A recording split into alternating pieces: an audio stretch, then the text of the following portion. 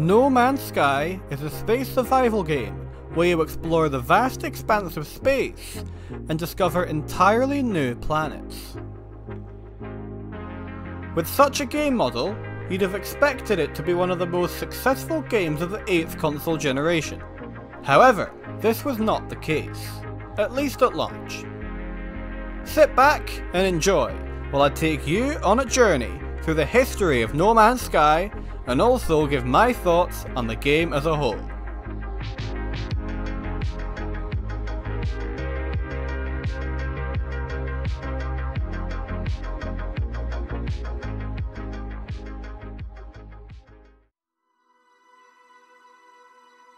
No Man's Sky launched in August 2016 for PS4 and PC. The hype for the game had been high since the game's announcement back in December of 2013. The launch was initially scheduled for June of 2016, but was delayed because some key moments needed extra polish to bring them up to our standards, according to lead director Sean Murray. Upon release, the game was critically panned for many reasons, such as being an overall lackluster game, a lot of space, not much to do, boring planets, and most importantly, no online support. This in turn led to the game getting mixed or average reviews according to Metacritic, a far cry from the expected outcome of the game. Even IGN only gave it a 6, which should tell you all you need to know about the launch. Memes popped up across the internet involving Sean Murray, as many fans suggested he blatantly lied about the game's contents to get people to buy it. At first, this seemed to be true, but then. After the initial negative press, developers Hello Games decided to work on updating the game to give the fans the experience they were promised in the pre-release days. The Foundation update was the first to arrive. This came 4 months after release and added features such as base building, and with it the possibility of farming. Along with this, the update introduced the buying and selling of freighters, where you could store items. This update also added two new game modes, Survival and Creative. Survival was for those who wanted a tougher gameplay experience, whereas Creative was for those who just wanted to build. This update was a big step in the right direction, but the game still had a long way to go before it would reach the hype of the pre-release trailers. Four months after the Foundation update, the Pathfinder update became the second major update to the game. This update added planetary vehicles known as Exocraft. Online base sharing was also added so you could share your creations with your friends, along with the expansion of base building itself. Another new mode was added with the permadeath mode. As the name suggests, once you die it is permanent, which adds an extra level of difficulty. The Atlas Rises update arrived a year after the game's initial release. This update brought an improved storyline as well as adding a reported 30 hours of story content. A big addition in this update was the crashed freighter ships, which was shown in the initial pre-release trailers.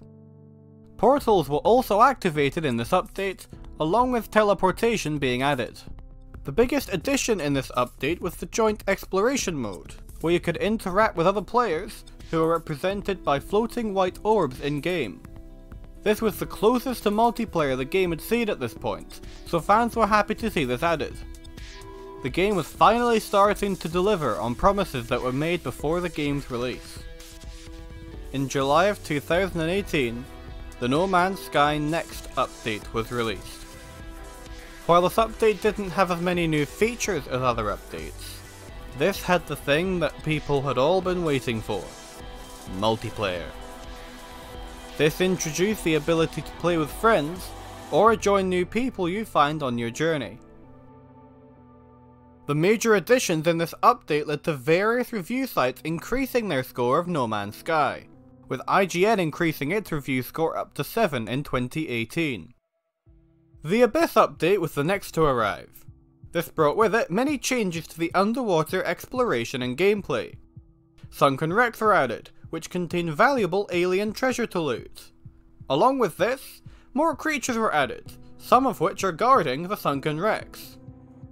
The biggest of the additions were the submarines, which make ocean exploration much faster, easier, and more enjoyable for the player. The Visions update followed soon after. This update introduced rare artifacts known as trophies from alien worlds. Archaeology was also added to the game, as burial sites will give you rare skeleton fragments worth a lot of money. In August of 2019, No Man's Sky Beyond was released to the public.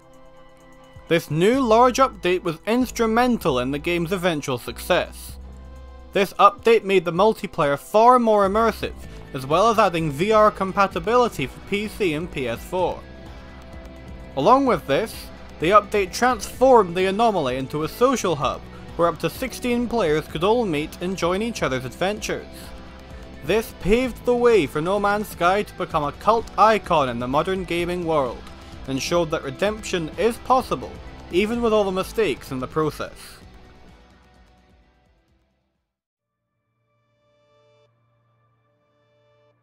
No Man's Sky is one of my favourite games of the 8th console generation.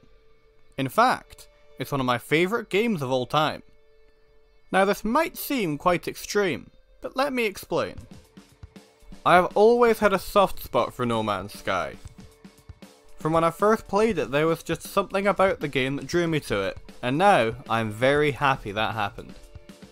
The calming nature of going around space discovering entirely new planets can be such a rewarding experience. While it might feel like the game is empty, it actually works to make every experience feel rewarding in its own right. Even just finding a new planet can feel like such a large achievement.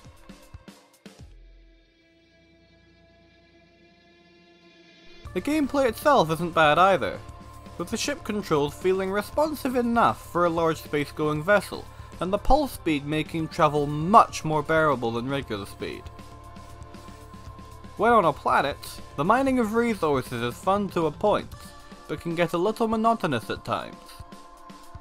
The planet you get is entirely luck based, with more than 18 quintillion procedurally generated planets, or this number to be exact. Some slightly lackluster planets are to be expected.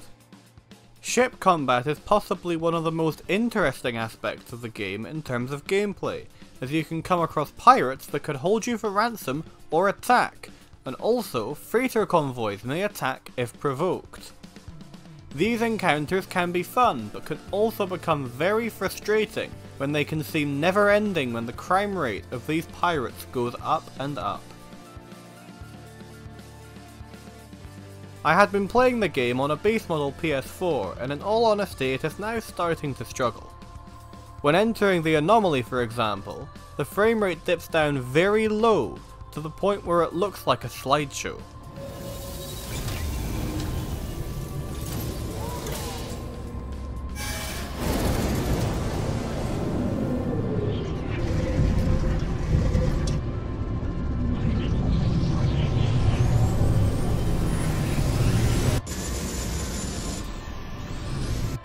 However, while producing this video, I was lucky enough to get a PS5 and in turn a free upgrade to the PS5 edition of the game. While playing this edition, I made sure to check the anomaly as I did before.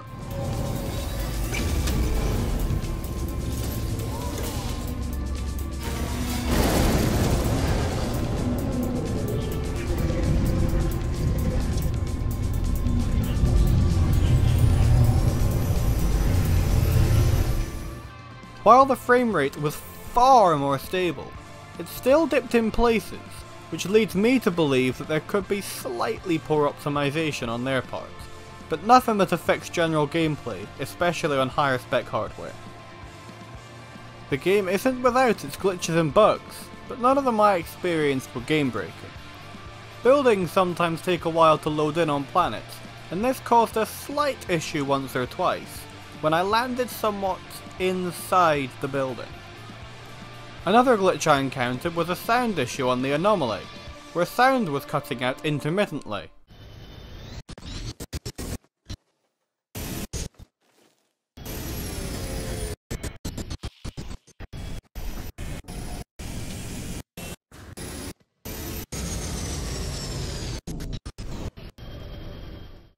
Additionally, while exploring a crashed freighter ship, I discovered that I could walk up near vertical walls, which should have been impossible. None of these glitches affected anything though, as they were more funny than annoying. While I have put quite a few hours into the game, there is so much more to explore and find out.